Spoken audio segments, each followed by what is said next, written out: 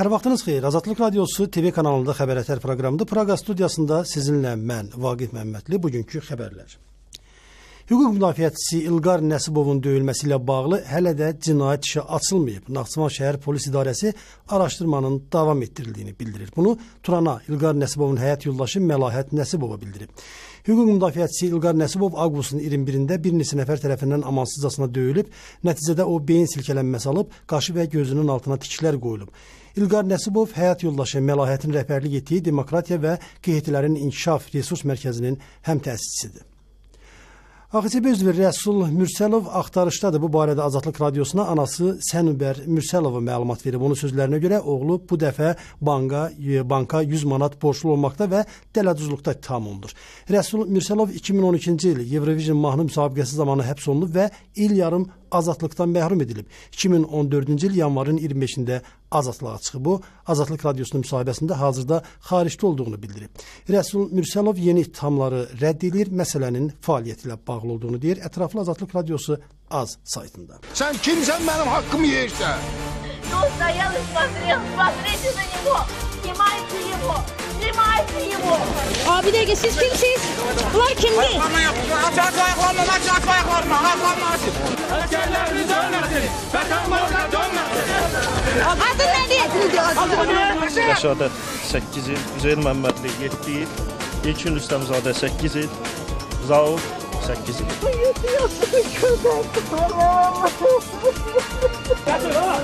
Ne edirlər bu uşaqlar falan? Sağa tükürürlər. Nəyə görə saxlayırsınız? Avqustun 26-sında Türkiyə prezidenti Abdullah Gül ilə Azərbaycan prezidenti İlham Əliyev arasında telefon söhbət olub. Söhbət zamanı iki ölkə arasındakı dostluq və qardaşlıq münasibətləri, strateji tərəfdaşlıq ətrafında fikir mübadiləsi aparılıb, ikitərəfli əlaqələrin bundan sonra da inkişaf etdiriləcəyi bildirilib. Milli Məclisdə ordu barədə və hərbi məlumatların yayılmasının məhdudlaşdıran qanun layihəsi hazırlanır. Milli Məclisin Təhlükəsizlik və Müdafiə Komitəsinin üzvü Siyavuş Novruzov bu günlərdə mətbuata açıqlamasında hazırda qanun layihəsi üzərində iş getdiyini və sentyabrda müzakirəyə çıxarılacağını bildirib. Qadağan olunmuş məlumatın yayılmasına görə konkret cəza tədbirləri də nəzərdə tutulur. Bu jurnalistlərin fəaliyyətinə hansı qadağaları qoyacaq? Ümumiyyətlə bu addım nədən xəbər verir? Ətraflı Müşfiq Cabbarın reportajında. İyulun sonu avqustun əvvəllərində cəbhə xəttində gərginlik yaşandı. Əskərlərin həlak olması, yaralanması xəbərləri medianı sardı. Amma bununla bitmədi. Bölgədən olayları xəbərləyən jurnalistlərin məlumatları heç də bir mənalı qarşılanmadı. Aralarında yanlış xəbərlər ötürənlər də az olmadı. Mübahisə mövzusu təkcə bu deyildi. Reportyorların cəbhə xəttindən şəkil, video görüntüləməsi, hərbi texnika ilə bağlı məlumatların verilməsi etirazlara səbəb oldu. Etirazlara baxmayaraq hərbi ekspert Üzeyir Zəfərli müharibə şəraitində cəmiyyətin məlumatlandırılmasının vacib olduğunu deyir. E, məlumatsızlıq nəticəsində biz şəhidlərlə bağlı məlumatları sosial şəbəkədə geniş müzakirə edəndə hələ bizim telekanallarda çal-çağır gedirdi, konsertlər gedirdi. Də, e, yaxşı xatırlayırsınız. Və bu da insanlarda qıcıq yaradırdı. Necə olur biz ondan artıq şəhid vermişik, burada telekanallar, burada bayağı mahnılar, bayağı belə deyək, çal-çağır həyata keçirir. Yenə də deyirəm ki, bu dövlətin bir e, işləy mexanizmi olmalıdır ki, belə hadisələr baş verən kimi dərhal yəni e, necə insanlar e, məlumatlandırılmalıdır. İndi mən bir şey də e, qeyd edeyim ki, e, bu hadisələr baş verəndə biz bunun müsbət tərəfini deyirdik ki, bizimkilər deyirdi iki kənd azad olundu, iki rayon azad olundu. Yaxşı, bunun biraz ə, əks tərəfini götürək. Əgər məlumat verilsəydi ki, o cəbhə bölgəsində yayılan, ə, yaşayan ə, kəndlərimizdə panika yaşanır, insanlar oradan çıxır, onda nə olacaqdı? Rəsmi reaksiya yox. İnsanlar arasında bu şayələr get-gedə artır. Bunun qarşısını kim alacaqdı? Kimi bu xəbərlərin verilməsini vacib, kimisi hərbi sirrin yayılması kimi dəyərləndirdi. Ön xəttə gərginlik səngiyəndən sonra Milli Məclis hərbi məlumatların məsələsini bir daha gündəmə gətirdi. Milli Məclisin Təhlükəsizlik və Müdafiə Komitəsinin üzvü Siyavuş Novruz yerli mətbuata müsahibəsində yeni qanun layihəsinin hazırlandığını bildirib. Bu qanun hərbi məlumatların yayılması ilə bağlı məhdudiyyətləri özündə əks etdirəcək. Dünyada vətəndaş öz şəxsiyyətini təsdiq etmədən hər hansı bir fikir şərhi yaza bilmir. Amma bizdə ordu haqqında da, insan haqqında da müxtəlif fikirlər yazırlar. Vəlinin papağını əlinin başına, əlinin papağını vəlinin başına deyən keçmiş hərbiçi Üzeyir Zəfərli var olan qanunun yenidən qəbul edilməsinə ehtiyac olmadığını deyir. Əvvəla Azərbaycanın e, bu məsələ ilə bağlı iki qanunu var. deməli dövlət sirri haqqında qanunu var, bir də informasiya əldə etmək haqqında qanun. Hər iki qanunda hər şey açıqlığı ilə göstərilib.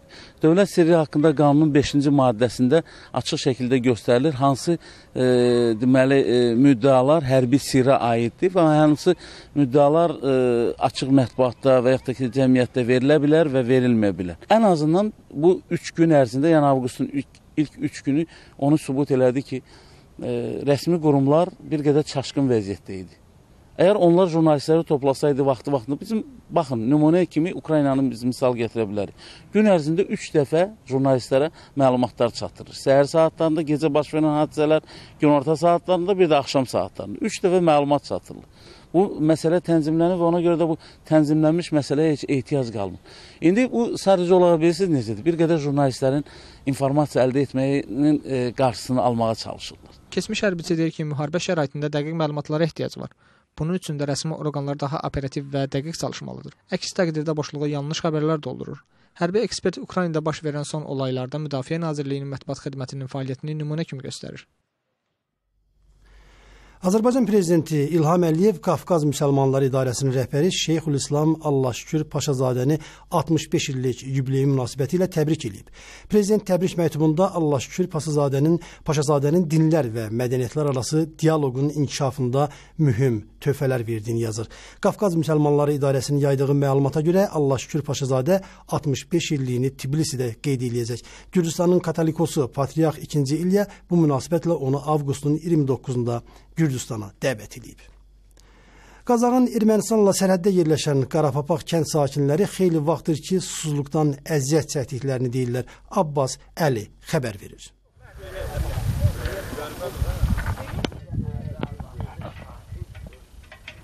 Bizim günahımız nədir? Biz hariyə müraciət eylək ki, bizə günahlasınlar. Su həyat deməkdir. O da olmayandan sonra da mən bu həyatda niyə yaşayıram?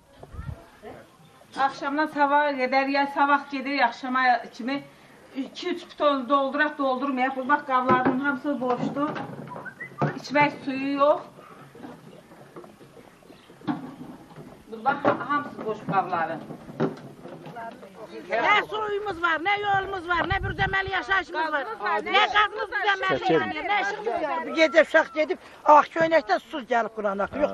Bir damcı öydə su yoxdur içməyə. Paltarımızı yeməyə. Neçə kilometr gedib oradan su gətirirlər. O da çerət, o da olmaz. Qarabağda şəhəri Qarabağda bir dənə yerdə var, o da gəlmir. Atı, eşək olan gedib pitonla aksiyonetən doldurur. Atı olmayan, eşək olmayan eləcə ona buna yalvarır. Var mı? Yoxdur su. Hə. İkildə artizanı vurublar buraya, motorunu aşağı qoyublar, işığı bağlamırlar, deyir soçik yoxdur. Qapalı soçik lazımdır. Kənd sovetinə, bələdiyyə, icra hakimiyyətinə getməkdən ölmüşük. Bax bu cəmaatı gedirlər, gedirlər. Bizə deyir gedin özünüz baxalım. Biz nə ilə alaq bax buraya qoyaq? Transformator alın. Transformator alın, bakalım su koy. Ne ne? Bizim ne gazımız düzenli yanmır. Ne bizim düzenli yolumuz yoktu. Ne bizim düzenli ışığımız yoktu. Neyle yaşayaq? Susuz neyle yaşayaq? Biz içmeye su taşıyaq yoksa işletmeye. Kənd yerində yaşayırıq, mal saxlayırıq, qoyun saxlayırıq, malımıza, heyvanımıza suyu hardan verək, özümüz nə içək?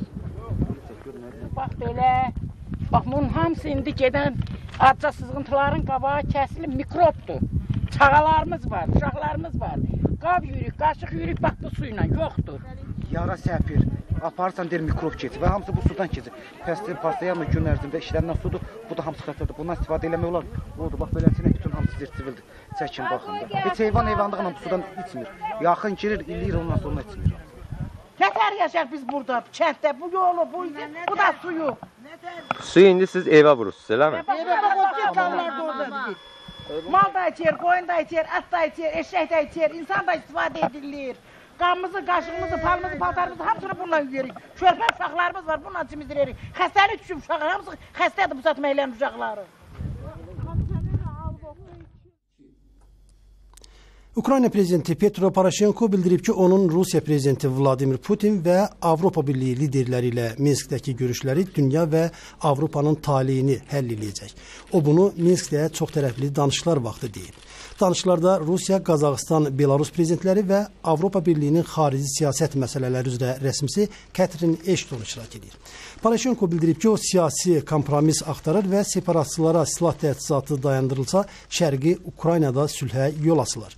Rusiya prezidenti Vladimir Putin isə deyib ki, Ukrayna böhranı Kiyevlə Şərq regionlarının nümayəndələri arasında birbaşa danışıqlarla həll oluna bilər.